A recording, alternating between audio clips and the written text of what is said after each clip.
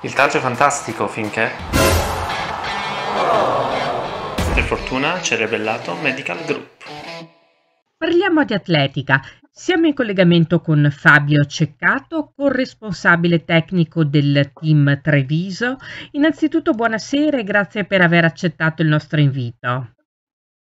Buonasera a lei, buonasera a tutti voi ascoltatori e grazie a voi dell'invito. Piacere nostro naturalmente. Allora parliamo innanzitutto del grande successo della formazione femminile in quel di Vittorio Veneto nei campionati italiani assoluti di società.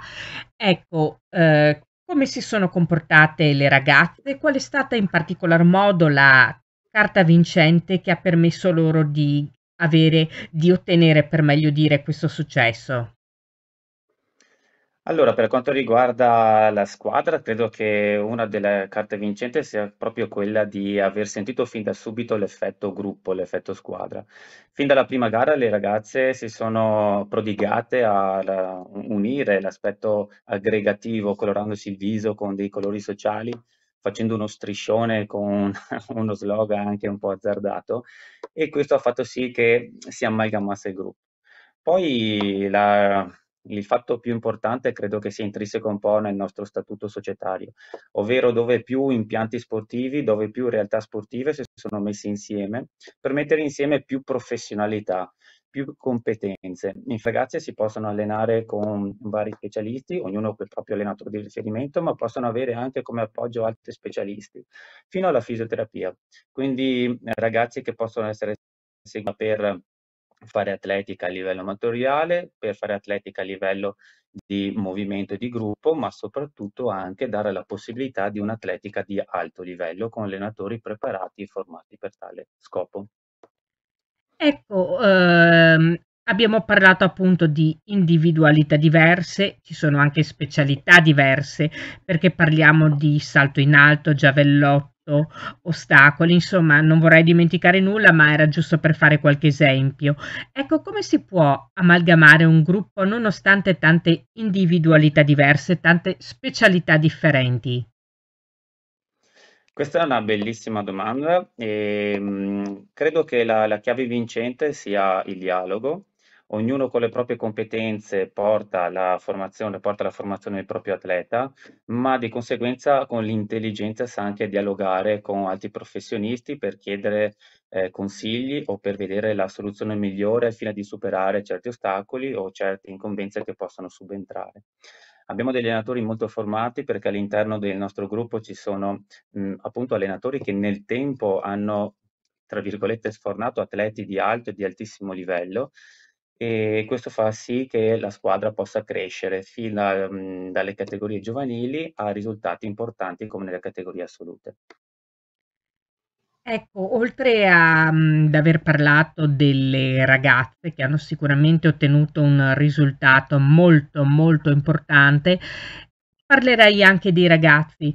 Non eh, hanno ottenuto un risultato eh, non hanno avuto, diciamo così, tanto successo, però è doveroso parlarne perché comunque si sono impegnati e comunque anche se sono arrivati decimi è giusto sottolineare anche le loro prestazioni. Nel loro caso che cosa non è andato, diciamo, per potersi piazzare qualche eh, posizione più in alto?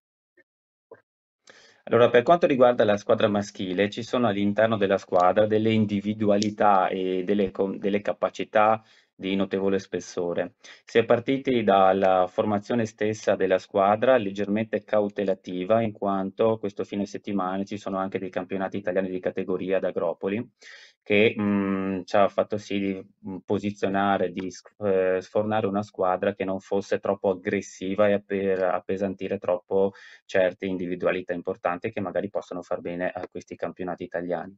Se poi ci mettiamo dentro anche un po' la sfortuna, perché sappiamo che nei campionati di società ci se la gioca sempre, mh, cito per esempio tre salti nulli nel salto in lasta dove il nostro Andrea era piazzato molto bene, aveva la prima misura di accredito, o alcune mm, mancanze per concomitanze, matrimoni per esempio di un nostro martellista, altri risultati che mh, mm, per sfortuna voluto non hanno potuto coprire la, mm, la, la, disciplina nel miglior modo, perciò una serie di concomitanze hanno portato a questo mh, risultato non del tutto eh, diciamo soddisfacente, ma assolutamente mh, aggregativo e tra l'altro segnalo anche con una forte motivazione data dal nostro nuovo capitano, che saluto, Davide Colusso, che sta riuscendo e, e ha lo scopo anche di portare mh, linfa, linfa vitale a questo gruppo, che è fortissimo.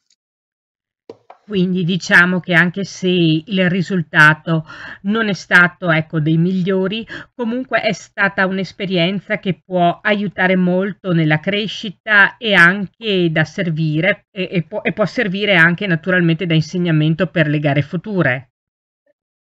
Assolutamente sì, ehm, anzi sottolineo appunto questa capacità dei ragazzi perché han abbiamo chiesto anche a delle mhmm, a a dei ragazzi un po' più giovani di poter gareggiare per sostenere la squadra, proprio per le scelte anche, ehm, societarie fatte in precedenza, cioè quella di preservare alcuni atleti in vista di questo ultimo fine settimana, in cui dovranno fronteggiare eh, ai campionati italiani atleti di notevole spessore per poter riuscire a esprimere al massimo le proprie potenzialità.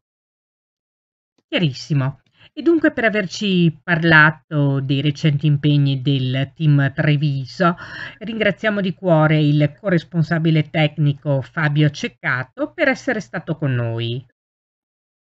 Io ringrazio voi e vi ringrazio per l'opportunità. Saluto tutti e buona atletica a tutti.